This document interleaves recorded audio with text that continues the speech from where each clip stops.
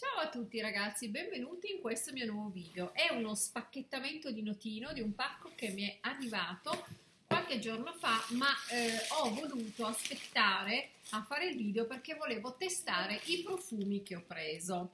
Eh, come vedete Notino impacchetta sempre molto molto bene tutto quanto, eh, con il pluriball, insomma eh, i pacchi sono sempre perfettamente, ehm, perfettamente imballati, infatti non mi è mai successo di trovare un qualche cosa di rotto, veramente sono bravissimi. Allora adesso vi faccio vedere che cosa ho preso, abbiamo fatto un bel bottino, eh, è stato mio marito che mi ha voluto fare questo regalo, l'ho voluto fare a se stesso, a me e a mia figlia e quindi eh, abbiamo preso un sacco di profumi. Vi faccio vedere che cosa abbiamo preso. Cominciamo con il primo profumo che è una chicca veramente che mio marito si è voluto acquistare. Una chicca che ho scoperto io spulciando su Notino. Allora, iniziamo subito, scusate, così io appoggio qua e cerco di, senza far cadere niente, di farvi vedere tutto. Allora, ovviamente il eh, profumo era incartato in questo, con questo cellophane, ma mio marito non ha resistito, ovviamente l'ha provato e quindi vi posso anche fare la recensione di come ha trovato questo, eh, questo profumo, se così si può chiamare, perché in realtà si chiama Sauvage Elixir. Allora, questo è molto di più che un profumo, è un profumo ad altissima concentrazione, tant'è che si chiama appunto Elixir. Allora, è in un formato da 60 ml, con questa bellissima bottiglia blu notte, eh, con la scritta argentata. Ragazze, io vi dico solo che è un qualche cosa di incredibile. Allora, mio marito ha testato questo prodotto praticamente con uno spruzzo solo.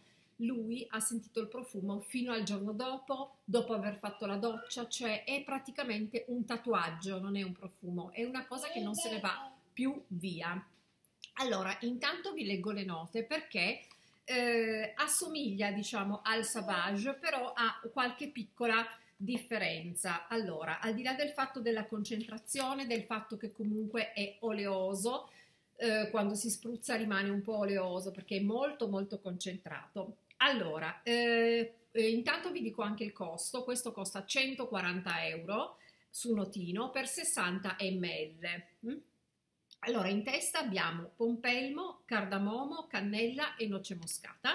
Nel cuore lavanda, cumarina, vaniglia nel fondo liquirizia, vetiver Haiti, paciuli e ambra. Allora, eh, praticamente questo è un savage eh, con un'alta concentrazione di toni, scusate, questa è sempre la mia nipotina che ovviamente deve sempre fare sua, il suo exploit. Eh, vi stavo dicendo che eh, questo profumo unisce la eh, nota, diciamo la freschezza del, del, Savage, se voi lo conoscete, con insieme però eh, le spezie eh, e la lavanda eh, in una, in una, diciamo in un'essenza quasi liquorosa, cioè talmente forte mh, mm, che veramente ne basta pochissimo e secondo me non bisogna neanche abusare. Scusate, eh, una parentesi, questa collana qui è una collana che mi aveva regalato la mia amica Antonella quando sono andata a Bari ehm, eh, del canale I consigli di Antonella 2. Ciao amore, ciao.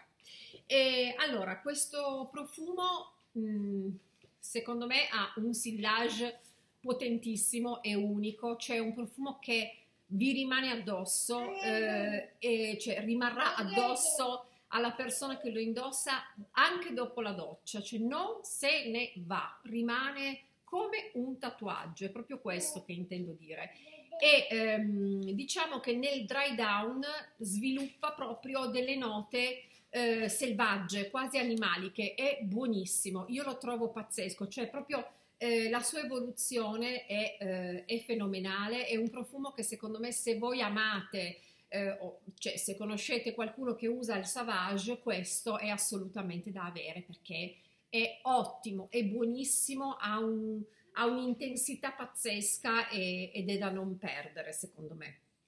Eh, è vero, costa, però eh, fate conto che voi non potete spruzzarvelo così perché è quasi eh, soffocante, cioè bisogna metterne proprio poco, centellinarlo ed è stupendo e poi un bellissimo, anche un bellissimo oggetto, vedete proprio eh, la bottiglia è fantastica, bellissima, c'è questo tappo eh, magnetico, è fantastico, quindi questo è un regalo che si è voluto fare mio marito e, ehm, e quindi secondo me ha fatto bene a prenderselo perché lui ama anche il Savage e quindi questo era da avere assolutamente. Allora, eh, quindi qui vi ho detto già tutte le note, non posso dirvi altro che eh, consigliarvelo se dovete fare un bel regalo a qualcuno. Passiamo al prossimo profumo. Allora, eh, il prossimo profumo di cui vi vado a parlare eh, è il J'adore Eau de Parfum Infinissime, eccolo qua. Vi avevo già fatto vedere mh, mm, in un haul l'acquisto del, del, profumo in olio di questa eh, varietà di J'adore. Allora, eh, vi leggo le note, ho dovuto ovviamente segnarmi tutto ragazze, e, e vi dico anche la differenza eh, fondamentale che c'è, scusate che mi metto un pochino più avanti, eh, la differenza che c'è tra il J'adore normale e l'Infinissime. Allora, eh, secondo me eh, quello in cui differisce è che comunque in questo profumo si sente tantissimo, cioè preponderante secondo me la, la nota fiorita della tuberosa. La, questa tuberosa va comunque a eh, armonizzarsi con le note dello J'adore normale e crea un'esplosione proprio di um, un'esplosione di un tripudio di fiori. Ha una scia pazzesca è un profumo secondo me molto molto molto molto sensuale molto femminile. E ehm, non, non ha niente a che vedere secondo me anche se le note alcune note coincidono con, il, con lo J'adore normale, è proprio un'altra cosa. Vi faccio vedere la boccetta e poi vi leggo le note. Allora, eccolo qua, la boccetta come potete vedere è molto simile a quella dello J'adore normale. Adesso io me ne spruzzo un pochino perché qui oggi sarà da... Oh ragazze, è una roba io eh, lo, lo, percepisco proprio come, lo sento anche un po' talcato, ma questi fiori, ehm, è quasi un profumo che sembra un po' vecchio stile, sembra un profumo eh, d'altri tempi, però è meraviglioso. Allora, in testa c'è bergamotto e arancia rossa, nel cuore gelsomino sambac, ilang ilang, tuberosa di grass, rosa centifoglia e nel fondo legno di sandalo. È un profumo, ragazze, potente, dolce, sensuale, avvolgente, è una, una sorta di coccola.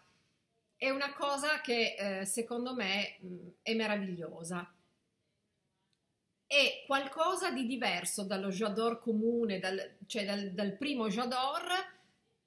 Secondo me è qualcosa in più. È suadente, proprio un profumo che viene voglia di annusarlo mille volte, è buonissimo e io ve lo straconsiglio. Io dopo aver preso l'olio ho deciso di acquistare anche il profumo. Questo qui eh, è praticamente una 50 ml di Eau de Parfum e quindi siamo passati al secondo profumo. Andiamo avanti andiamo avanti e vi faccio vedere questo allora un 30 ml di La Vie est Belle. Vediamo se si vede meglio. Allora, la confezione è bellissima perché è tutta, vedete, brillantinata e sbriluccicante. È stupenda, stupenda, bellissima. Allora, la Vie Belle penso che sia un profumo che conosciate un po' tutti. Io avevo voglia di avere l'originale perché ho avuto una volta solo l'originale e poi tanti dupe. Allora, adesso vi leggo le note eh, molto velocemente. Allora, in testa c'è pera, ribes nero, nel cuore fiore d'arancio, iris e gelsomino, nel fondo paciuli, vaniglia, pralina e fava tonka. Allora, questo è un profumo sicuramente eh, per me è un profumo da scia, cioè un profumo che si sente, si sente molto, è un profumo dolce, è un profumo fruttato e floreale e secondo me è un profumo allegro è un profumo che mette buon umore. Eh, diciamo che il nome secondo me è, è azzeccatissimo. Io adesso lo apro perché sennò voglio farvi vedere comunque de de de de e de de de de, capito? Così. Eccolo qua, la confezione stupenda, guardate che meraviglia, che meraviglia. E eh, questo è veramente un profumo, secondo me, che mette di buon umore. È gioioso. Io... È, è un fruttato floreale, ma proprio eh, sensuale, avvolgente, indimenticabile secondo me, non si può confondere con un altro, con un altro profumo, è veramente ottimo. E io trovo che lasci la scia, cioè si sente veramente parecchio, ha una buona durata secondo me e un'ottima intensità, quindi è un profumo comunque che dà una bella soddisfazione sicuramente. A me piace tantissimo e poi trovo che questa bottiglia sia veramente molto chic, mi piace tanto. E questo è l'altro acquisto che ho fatto. Credo che con questo video supereremo il quarto d'ora perché ho ancora diverse cose da mostrarvi. E metto qui dentro, scusate un attimo, non voglio fare casino. Poi, avanti abbiamo, ecco qua, Armani sì. Questo è anche lui un 30 ml. A parte il, um, lo J'adore, ho voluto prendere dei formati piccoli per non stufarmi e per prenderne diversi. Allora, parliamo delle note, eh, delle note di, eh, di Armani Sì. Allora, eh, Armani Sì in testa ha foglie di ribes nero, nel cuore fresia e rosa, nel fondo ambroxan, patchouli, note legnose e vaniglia. Allora, questo è un profumo, devo dire, per me elegante. È un profumo elegante, così come Armani, secondo me, è il simbolo dell'eleganza eh, in Italia la moda di Armani e allo, allo stesso modo questo è un profumo estremamente elegante, è un profumo cipro, è un fruttato floreale, però è un profumo che ehm, nonostante sia un profumo dolce è comunque un profumo discreto, non è invadente, è un profumo che si fa sentire ma non è assolutamente invadente. Me ne spruzzo un po' qua è meraviglioso, ha una dolcezza, una dolcezza tutta sua, ma eh, non è comunque il tipico dolce caramelloso, è un dolce eh, che non è stucchevole, a me piace tantissimo, è estremamente elegante, eh, scusate, elegante, portabilissimo, eh, secondo me è portabile anche da tutti i giorni, perché è un profumo che pur essendo eh, facilmente riconoscibile non è invadente, è un profumo elegante e io, eh, io lo adoro, lo trovo stupendo. Devo dire che questo secondo me è uno dei profumi più difficili da imitare perché tutte le imitazioni sono troppo, troppo dolci, eh, stucchevoli, invece questo non lo è affatto, è un profumo mh, discreto e quindi ehm, io ve lo consiglio, soprattutto eh, perché è un profumo che è, è anche, va bene anche come profumo giornaliero, non è, non è fastidioso, non è invadente. Vado avanti, allora, vado avanti e vi faccio vedere che cosa ho preso. Allora, avevo assolutamente voglia di Good Girl, ma nella varietà eh, Supreme Eau de Parfum, eccolo qua, questo è un 30 ml. Allora, questo ragazze, se amate i profumi dolci, questo è una caramella. Cioè, a chi piacciono i profumi fruttati, dolci ma persistenti da scia, questo è un profumo favoloso perché lascia una scia incredibile. Parliamo della boccetta, non vi dico niente, ve la faccio solo ammirare. Con questi glitter, questo tacco, è fantastico. Allora, questo è praticamente un, eh, un profumo adattissimo, secondo me, alle ragazze giovani, ma anche, perché no, ad una donna di una certa età. Io comunque a 54 anni lo metto e mi piace tantissimo. Allora, questo è un dolcino, è una caramella Eh, mi ricorda un po' Candy Prada, ma mh, mm, lo sento diverso. Vi dico le note. Allora, un attimo che vi dico le note. Eccole. Allora. In testa frutti, sono tre, quindi non ci sono eh, grandi note, tante note. Allora, in testa frutti di bosco, nel cuore gelsomino d'Egitto e nel fondo la fava tonka. Allora, è un profumo semplice, però intenso, molto intenso, molto riconoscibile, soprattutto questo eh, sentore di frutti rossi, io lo trovo pazzesco, sembra proprio una caramella al lampone, molto persistente, molto... mi piace, mi piace tantissimo e a chi piacciono i fruttati, veramente i dolcetti, questo è un dolcetto. E poi lasciamo stare la confezione stupenda che anche da appoggiarla sul mobile è meravigliosa. Allora, ovviamente mia nipote, siccome è arrivato il nonno, si fa sentire ancora di più. Allora, eh, adesso vi devo far vedere forse ancora un profumo, anzi due profumi ho ancora da farvi vedere, vi faccio già che metterli fuori. L'ultimo lo lascio... Eh, uno lo lascio per l'ultimo perché è veramente un profumo che dovreste, secondo me, chiunque dovrebbe avere. Allora, altro profumo che ho voluto prendere è un 30 ml di Chloé Eau de Parfum.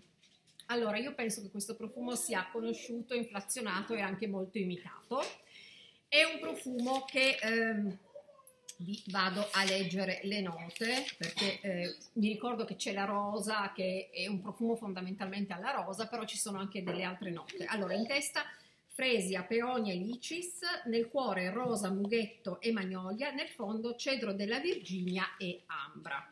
Allora questo è il classico profumo secondo me eh, da donna romantica, un profumo giornaliero, cioè che va bene sempre in qualsiasi occasione, non stonate mai con questo profumo perché è un profumo delicato, pur avendo una certa persistenza, non folle, secondo me, perlomeno su di me no, però mm, è il classico profumo eh, che non ha stagione, che va bene sempre, che va bene in qualsiasi occasione, non stonate mai con questo profumo, non è un profumo invadente, è un profumo discreto, diciamo che non possiamo considerarlo un profumo da scia, ma eh, possiamo dire che è un profumo che accompagna bene le vostre giornate, è un profumo, eh, vabbè, la confezione è meravigliosa, elegantissima, e questo è un profumo fondamentalmente, io l'ho sempre sentito come un profumo alla rosa, ma non una rosa vecchia, non una rosa antica, una rosa delicata,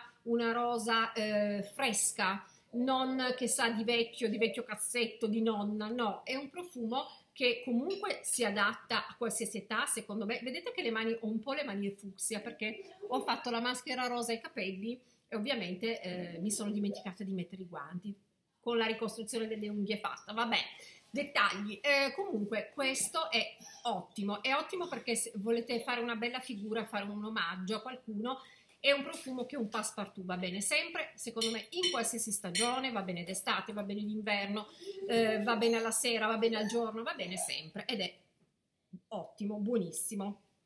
L'unica cosa appunto che vi posso dire è che per me pecca un po' di persistenza, non è tanto persistente è un profumo che però, insomma, eh, non è assolutamente male, quindi adesso me ne spruzzo un pochino in un angolo che non ce ne sia un altro. È ottimo, è ottimo, discreto, eh, rassicurante, è un profumo, ecco, un profumo rassicurante secondo me, buono, adatto appunto a una donna romantica. Io non sono romantica, ma mi piace lo stesso. Allora, passiamo all'ultimo profumo sul mio romanticismo potrebbe dire qualcosa a mio marito, ma tace e fa bene a non dire niente. Ecco, non dice niente, bravo, non dire niente, taci che è meglio. Allora, andiamo avanti e vi faccio vedere questo. Allora, ragazze, questo è Arpège di Jean Lambin è un eau de parfum, è un 100 ml e io l'ho pagato tipo 28 euro su notino, quindi niente. Allora questo è un profumo che secondo me ogni donna dovrebbe una volta nella vita provare, annusare e avere sempre tra i suoi profumi. Vi leggo le note e vi dico che cosa ne penso.